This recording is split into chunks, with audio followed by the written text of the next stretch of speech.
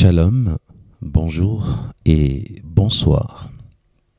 Nous avons eu aujourd'hui une journée très euh, combattue. L'ennemi n'a cessé de nous combattre énormément pour que nous ne puissions pas travailler pour Dieu. Et comme nous n'aimons pas lâcher prise, comme nous n'aimons pas donner accès à l'ennemi, peu importe les luttes et les combats, nous poursuivons une chose qui me fascine énormément est la voix de Dieu. Lorsque Dieu me parle, il me parle tellement clairement, très distinctement, et cela me fait peur. Et lorsque Dieu me parle, je plie genoux. Lorsque Dieu me dit quelque chose, je me soumets. Mais j'aimerais dire à quelques-uns aujourd'hui, le Seigneur m'a parlé encore pour vous. Il m'a dit d'énormes choses, des bonnes choses. Mais malheureusement, lorsque Dieu parle, il y a aussi trop d'avertissements. Pourquoi trop d'avertissements Parce que beaucoup de gens vivent dans la légèreté. Beaucoup de gens vivent dans des compromissions. Beaucoup de gens se disent enfants de Dieu, mais ne respectent pas la parole de Dieu. Le Seigneur m'a dit que beaucoup de gens ne finiront pas cette année. Parce que d'autres ont déjà été tués par l'ennemi, par le fétiche, par la magie noire. Beaucoup de gens ne finiront pas cette année. Quand je dis beaucoup, je ne dis pas tous. Vous savez, beaucoup commencent par deux. Il y en a qui m'écoutent en ces moments. Il y en a qui m'entendent. Mais lorsque nous arriverons le 1er janvier 2020, ils ne seront plus là. Mais cela n'est pas la volonté de Dieu. Le Seigneur m'a mis ces messages à cœur pour dire à ces gens-là, ils ne savent pas qu'ils vont partir, mais ils savent comment ils vivent leur vie. Si vous vivez dans des compromissions, il est peut-être possible que vous soyez la cible de l'ennemi Satan. Parce qu'aujourd'hui, je vous parlerai des testaments comme titre de ces messages les testaments. Vous savez, beaucoup de gens vivent tout le jour ce que le monde des ténèbres a décidé pour eux. Je disais donc, beaucoup de gens vivent tout le jour ce que le monde des ténèbres a décidé pour eux. Il y a aussi, entre guillemets, certains chrétiens qui vivent selon les testaments du diable. Oui, le diable a des testaments au pluriel qu'il a établis, qu'il a écrits, qu'il a élaborés pour certains hommes vivant sur terre et certaines femmes. Nombreux sont sans savoir que leur vie terrestre se déroule telle que prévue par Satan. Pourquoi? Parce que le droit légal qu'a Satan pour décider sur notre vie lui a été confié depuis les jardins d'Éden lorsque Adam et Ève ont chuté. Les diables établit toujours un testament pour chaque être humain vivant sur terre les testaments du diable et les plans qu'il a tracés, ainsi que tout ce qu'il prévoit faire pour détruire la vie de chaque être humain. Comme vous l'entendez si bien, il s'agit des documents spirituels bien écrits. Mais pourquoi écrit-il? Parce que il n'est pas omniprésent. Le diable n'est pas omniprésent. Il ne peut pas lui-même se charger de détruire les 7 milliards d'habitants sur la planète Terre actuellement. Il est obligé de s'organiser. Il a besoin que ces démons sachent ce qu'il veut concrètement dans la vie de chaque être humain. Il a besoin que ses serviteurs, les humains satanistes, sachent ce qu'il veut, ses volontés, qu'est-ce qu'il décide, afin que eux détruisent par l'ordre donné par Satan arrivent à accomplir leur mission de destruction. Les diables écrits donc. Vous savez, frères et sœurs, ces démons ont à leur disposition les dessins du diable bien écrits contre chaque être humain. Et lorsqu'ils sont envoyés en mission dans votre vie, les démons viennent pour accomplir les dessins du diable. Quand je dis dessin, c'est 2 E, 2 S, E, I, N, S. Retenez donc, certains incrédules pensent que j'exagère lorsque je parle des documents spirituels écrits. J'ouvre une parenthèse rien que pour vous, les incrédules, pour vous dire ceci. Lorsque la Bible dit qu'il a déchiré l'acte dont les ordonnances nous condamnaient, la Bible parle aussi du livre de vie où nos noms sont inscrits. Même Dieu a un livre où il inscrit nos noms dedans. Satan a des actes dont les ordonnances nous condamnent, mais Lorsque Jésus a déchiré l'acte dont les ordonnances nous condamnaient, il s'agit de nous qui acceptons aujourd'hui Jésus-Christ comme Seigneur et Sauveur. Pour ceux qui n'ont pas accepté Jésus comme Seigneur et Sauveur, l'acte dont les ordonnances les condamnent n'est pas encore déchiré. Parce que c'est lui qui appartient à Satan. Satan a encore un droit légal sur lui. C'est lui qui ne reçoit pas Jésus comme Seigneur et Sauveur. Il ne peut bénéficier de la victoire de Jésus-Christ à la croix. C'est ce que beaucoup de gens ignorent. De penser que tout être humain vivant sur terre a la victoire sur Satan. Non. Ne peut avoir la victoire sur Satan que celui qui réellement né de nouveau. Alors en ces moments-là, la mort de Christ à la croix s'opère dans sa vie. Le bénéfice de la mort de Christ se conjugue dans son existence. Alors Christ efface l'acte dont les ordonnances condamnaient cette personne. Mais pour celui qui n'a pas Jésus, l'acte existe. Les écrits sataniques existent contre ces personnes qui n'ont pas Jésus. Et qu'en est-il de ceux qui se disent chrétiens, mais qui vivent encore dans le péché? Je veux être franc avec ceux-là. Lisez 1 Jean chapitre 3 versets 8 à 9. Vous qui vivez encore dans le péché, vous qui pratiquez et commettez le péché volontairement, vous n'appartenez pas à Dieu. La Bible dit, vous appartenez à Satan. Cela veut dire que vous aussi, si vous appartenez à Satan, l'acte et les écrits de Satan existent encore pour vous. Les testaments du diable s'opèrent, s'opéreront contre vous. Revenons à présent sur les testaments du diable. Dans les testaments du diable pour votre vie, tout est écrit avec détail, frères et sœurs. C'est écrit là-dedans. Tu gagneras toujours l'argent, mais tu ne feras rien avec. Voilà pourquoi beaucoup de gens gagnent énormément d'argent. Ils font les affaires, ils gagnent l'argent.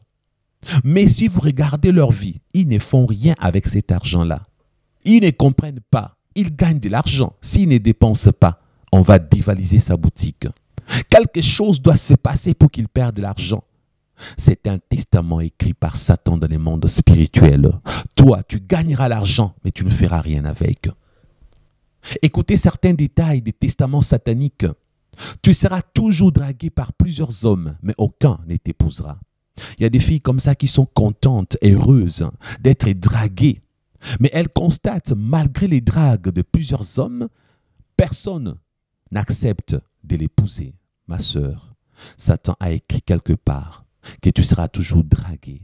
Les hommes coucheront avec toi. Tu feras des enfants, mais tu ne te marieras pas.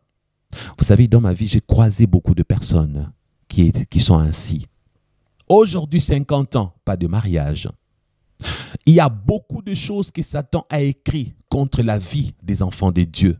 Il y a des actes dont les ordonnances condamnent certains hommes encore et certaines femmes. Des actes non déchirés parce que ces gens n'ont pas accepté Jésus comme Seigneur et Sauveur dans leur vie. Il y a d'autres actes dont les ordonnances condamnent certains qui se disent chrétiens mais pour la simple raison qu'ils vivent encore dans le péché. Ils pensent être enfants de Dieu, mais ils ne le sont pas. Ils pensent appartenir à Dieu, mais ils ne le sont pas parce qu'ils sont hypocrites. Frères et sœurs, je poserai encore la question. Mais que contient réellement les testaments sataniques? Parce que je n'ai pas donné tous les détails. Je n'ai pas tout dit. Alors avançons. Il faut d'abord savoir que vous ne trouverez pas le mot testament du diable dans la Bible, frères et sœurs. De la même manière, vous ne trouverez pas non plus le mot Trinité dans la Bible. Mais nous croyons au Père, au Fils et au Saint-Esprit, n'est-ce pas? Retenez que nous n'avons pas besoin que le mot testament du diable soit dans la Bible. Parce que il existe d'autres appellations du testament du diable contre les humains dans la Bible. Lorsqu'on parle, il y a Jésus-Christ avait déchiré l'acte dont les ordonnances nous condamnaient. Cet acte-là, avec plusieurs ordonnances qui nous condamnent, des accusations contre nous, qui donnaient accès, qui donnaient raison, qui donnaient le pouvoir à Satan d'agir dans notre vie. Ça veut dire que c'était les volontés multiples du diable contre notre existence. Des choses que le diable avait voulu faire parce qu'il revendiquait le droit de le faire. Jésus-Christ a déchiré sur la croix. Mais je suis en train de préciser aujourd'hui, beaucoup de gens n'ont pas bénéficié de l'œuvre de la croix, ne bénéficient pas de l'action de déchirer l'acte que Jésus a fait sur la croix de Golgotha. Parce que cela ne s'est produit que dans la vie du vrai chrétien. C'est lui qui a accepté Jésus comme Seigneur et Sauveur, qui marche en conformité avec la parole de Dieu. Les autres croient bénéficier de cela. Non, non. Il y a encore un acte avec plusieurs ordonnances contre toi, toi qui vis encore dans le péché. Parce que Satan a beaucoup de testaments contre les humains. Vous savez, dans la Bible, il y a d'autres mots qui sont utilisés pour identifier les testaments du diable. J'aime par exemple l'apôtre Paul. Lorsqu'il écrit dans 2 Corinthiens chapitre 2, verset 11, l'apôtre Paul dit ceci, afin de ne pas laisser à Satan l'avantage sur nous, car nous n'ignorons pas ses desseins. L'apôtre Paul parle des desseins du diable au pluriel. Il n'a pas mis au singulier, hein, au pluriel. Nous n'ignorons pas ses desseins. J'aurais voulu dire à l'apôtre Paul, s'il te plaît, Paul, peux-tu énumérer en détail? Peux-tu, s'il te plaît, donner des détails? Tu parles des desseins du diable que nous n'ignorons pas. Mais d'autres hommes l'ignorent. Il y a des hommes et femmes qui ne connaissent pas les desseins du diable avec détail. Oh Paul, si tu donnais au moins la liste, frères et sœurs, vous n'avez pas besoin de Paul pour ça. Nous autres, nous sommes là pour décortiquer. Nous autres, nous sommes là pour vous donner des détails que vous n'avez pas. Je vous ai toujours dit que beaucoup de choses ne sont pas écrites dans la Bible concernant Satan parce que la Bible n'est pas les livres de Satan. La Bible n'est pas la révélation de Satan. On parle peu de Satan dans la Bible avec détails, mais on parle de Dieu avec beaucoup de détails parce que la Bible est la parole de Dieu. C'est ainsi que Dieu a suscité des anciens satanistes il les a poussés à se convertir pour que eux aussi vous donnent des détails que la Bible ne donne pas sur le mode opératoire de Satan. Il donne beaucoup de détails sur le projet, sur le plan que Satan trace contre la vie des chrétiens. Il donne des détails sur le testament satanique contre les hommes. Pourquoi? Parce que Dieu a voulu que eux puissent se convertir apporter leur témoignage. Oui. Pour ceux qui ne le savent pas, le dessin s'est défini par deux éléments. Ouvrez donc vos dictionnaires, vous allez voir. Premièrement, le dessin, c'est la volonté arrêtée de faire quelque chose. Oui, quand Paul parle des dessins du diable, il s'agit de la volonté arrêtée du diable de faire quelque chose. Et la deuxième définition des dessins, c'est le projet à réaliser. Vérifiez dans vos dictionnaires, vous allez voir ça. Donc, lorsque Paul dit, afin de ne pas laisser à Satan l'avantage sur nous, car nous n'ignorons pas ses desseins, Paul est en train de dire, nous connaissons la volonté arrêtée du diable dans notre vie pour faire ce qu'il veut. Nous connaissons aussi le projet qu'il veut réaliser contre nous. Paul connaissait la volonté arrêtée du diable. Paul connaissait le projet que le diable avait contre lui et contre les enfants de Dieu. Mais il ne pouvait pas donner avec détail. Et toi, si tu as l'Esprit de Dieu aujourd'hui, tu apprends par les pasteurs chrétiens, tu apprends par les pasteurs Jonas, tu apprends par l'homme de Dieu, Bakaji Kuba, tu apprends par la sœur Sidoine, tu apprends par plusieurs serviteurs de Dieu qui ont flirté avec le monde du diable. Il vous donne des détails pour que vous puissiez être conscientisés pour mettre de l'ordre dans votre vie spirituelle. Frères et sœurs, il y a des choses que le diable a écrites contre toi. Frères et sœurs, il y a des choses que le diable a écrites contre toi. Tu ne finiras pas peut-être cette année parce que tu seras mangé comme la vache ou le bœuf de la fin d'année chez le sorcier. Il y a des gens qui vont servir des nourritures aux sorciers cette année. Vous savez, il y en a qui pensent que dans le monde du diable, il n'est fait que à la fin de l'année. Non, ils ont deux fêtes. La fête pour clôturer l'année et une autre fête pour débuter l'année. Raison pour laquelle vous constatez que d'autres ne terminent pas l'année, mais d'autres encore terminent l'année, commencent la nouvelle année et ne la continuent pas. Je disais donc, il y a deux catégories de personnes qui sont concernées. D'autres ne finiront pas cette année parce que l'ennemi, dans son testament, a prévu leur mort. D'autres finiront cette année, commencera la nouvelle année 2020, mais n'iront pas loin parce que dans le monde des satans, il y a deux fêtes chez les sorciers, le magicien, les satanistes. Dans leur monde, ils organisent deux fêtes à la fin de l'année et au début de l'année. Vous avez remarqué, comme moi, que l'apôtre Paul a préféré utiliser des au pluriel au lieu du singulier. Mais pourquoi donc? Parce que le diable a plusieurs desseins contre nous tous, plusieurs projets, des malheurs, des destructions. Il a tracé la vie de certaines personnes, des événements qui doivent se produire dans ta vie. Le diable a prévu que tu puisses divorcer. Le diable a prévu que tu puisses échouer. Le diable a prévu que tu puisses t'appauvrir. Et tu ne peux le vaincre que si réellement tu reçois Jésus dans ta vie comme Seigneur et Sauveur. Tu ne peux le vaincre que si réellement tu arrêtes avec la vie du péché. Frères et sœurs, pour sauver l'humanité, Dieu n'a pas envoyé des anges, mais son propre Fils qui devait naître d'une femme. Pour accomplir sa volonté de sauver l'homme, Dieu devait agir dans ce monde physique et non seulement dans le spirituel.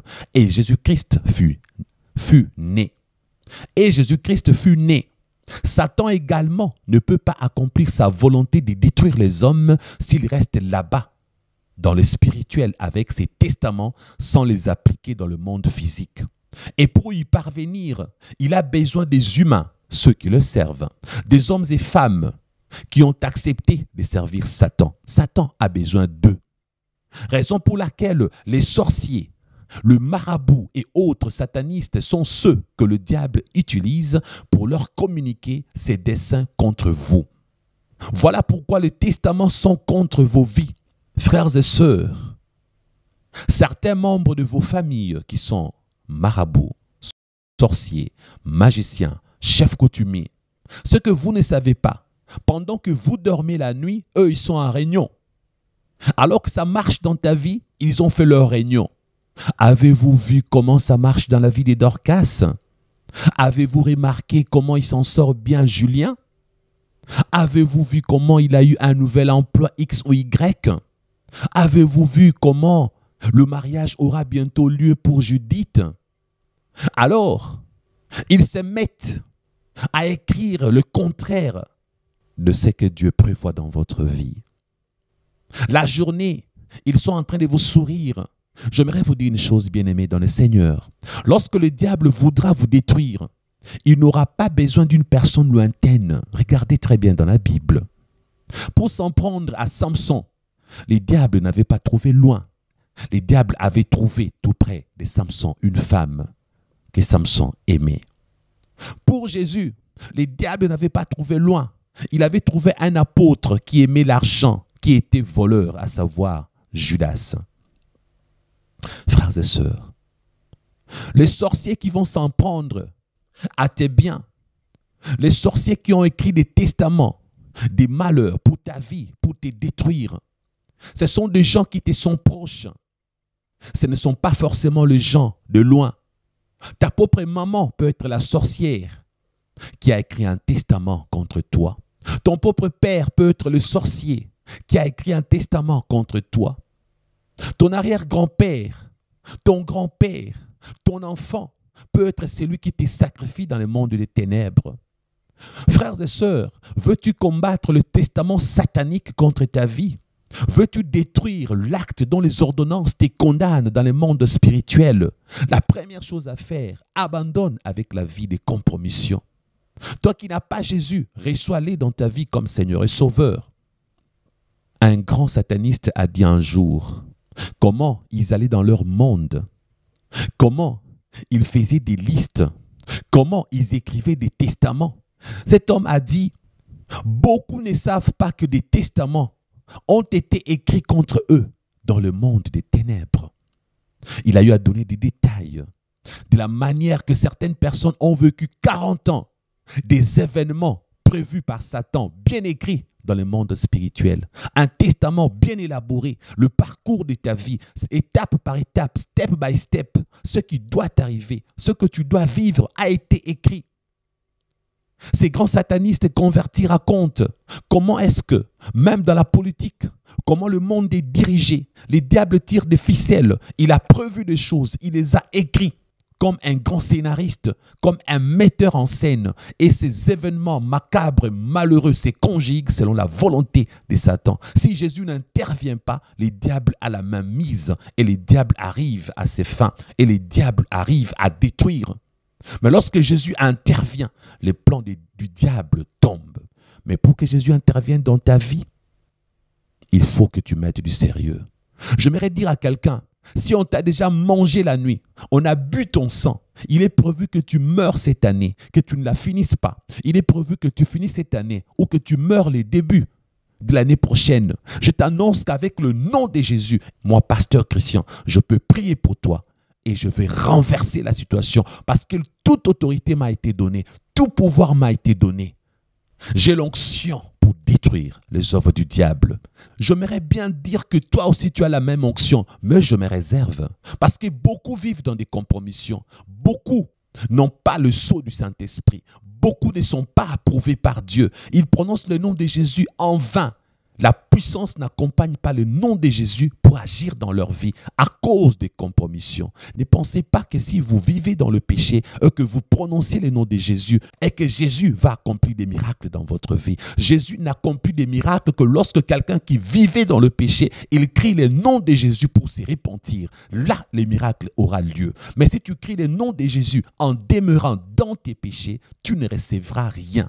Le diable va te faire croire qu'il suffit de crier Jésus pour être sauvé. Il suffit de crier Jésus pour annuler le plan satanique. Il va te faire croire cela pour que tu penses que tu as gagné. Mais malheureusement pour toi, tu vas mourir. Il va être là face à face pour te dire, je t'avais menti. À cause de tes péchés, Dieu n'exauçait pas tes prières et il sera trop tard pour toi. N'attends pas qu'il soit trop tard, car il est réservé aux hommes de mourir une seule fois, et après quoi vient le jugement.